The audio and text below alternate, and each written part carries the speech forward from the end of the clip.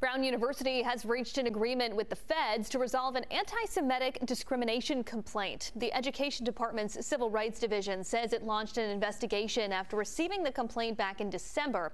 They found the university received 75 reports of anti Semitic, anti Palestinian, and anti Muslim harassment since last October and, quote, took little to no action in response. As part of the resolution, the university has agreed to take steps to comply with Title VI of the Civil Rights Act.